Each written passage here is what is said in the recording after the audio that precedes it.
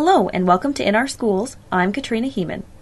We're introducing a new segment to In Our Schools where we will look at the curriculum and show you what your child will learn in math from kindergarten through fifth grade. You will notice a definite change in the instruction. Students are more engaged with hands on learning activities and really enjoy math. These new segments will also help you read the new report cards and see how your child is being assessed on each section. Today we will visit a math lesson in Mrs. Kane's second grade classroom at Highland Elementary to see how and what students are learning in math.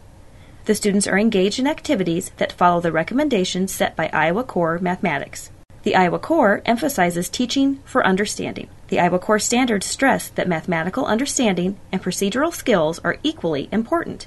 The Waterloo Math curriculum is aligned with the Iowa Core and is built around instructional tasks focused on important mathematics used in everyday life. Students learn in an environment that stresses making sense of mathematics.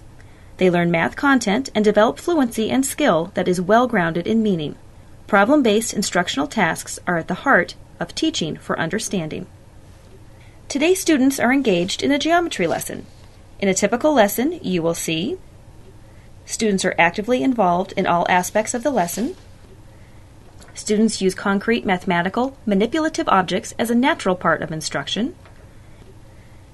Students solve problems and work on extended problems as their primary purpose in math.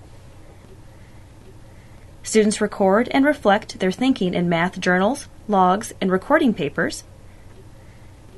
Students learn through repeated work in activities and games. Students are assessed with formal and informal assessment. Students demonstrate and explain their thinking and ask questions of their peers and their teacher. In second grade, students will be learning about place values such as counting by fives, tens, and multiples of 100, and the number relationships between those units. They need to use what they know about place value to find ways to add and subtract. They need to know their addition facts to 20 from memory. They will learn these concepts by interacting with the math workshop activities and hands on experiences. New concepts for second grade students include working with numbers to a thousand, adding and subtracting using strategies to use what they know about place value and addition, and subtraction to find solutions to complex problems. They will also be learning to use rulers and how to measure something using inches and centimeters. They will also be learning about shapes and analyzing how to combine them to make three dimensional shapes. Parents can help students by playing the games and having the student explain their thinking. We want students to see that there are many ways to solve problems and even solve equations. Taking time to explain your process allows students to see another strategy. Ask them to explain their ideas as well and watch for what they know about place value. Students will be bringing home games that will allow students to practice their math combinations so they will connect strategies with them to figure out quickly if they don't remember them. It is important that students can tell you their strategy before they start to commit them to memory. How are students assessed?